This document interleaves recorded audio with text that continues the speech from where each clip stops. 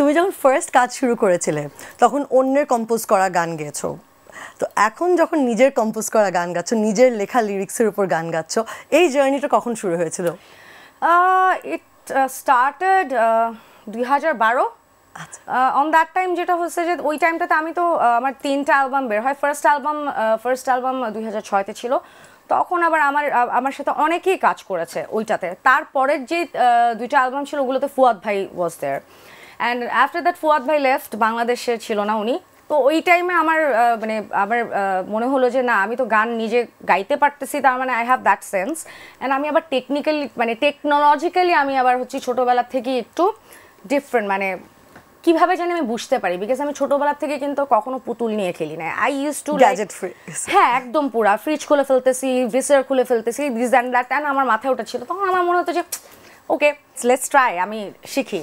দেন আমি নিজে নিজে শিখলাম একটা ছোট্ট একটা স্টুডিও সেট আপ বানায় দেন আই স্টার্টেড ওকে ঠিক আছে দেখি এক্সপেরিমেন্ট বাট মিউজিক আমার মাথা দিয়ে আসতেছিল বাট আমি লিখতে লিখব কীভাবে এটা আমি বুঝতেছিলাম না।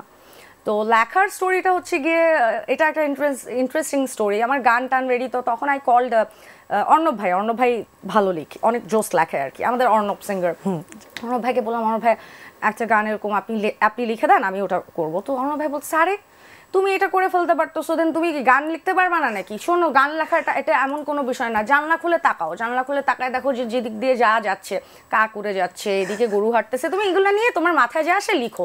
দেখবা যে লিরিক হয়ে গেছে না.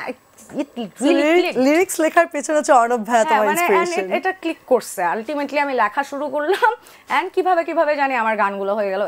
আমি বলি নাচও ছিল আমার গান লাস্ট যেটা তেরোতে বের হয় নাচও তারপরে ঈশ্বর জানে বের হলো। এটা এটা হচ্ছে থার্ড গান আর কি আমার কম্পোজ করা।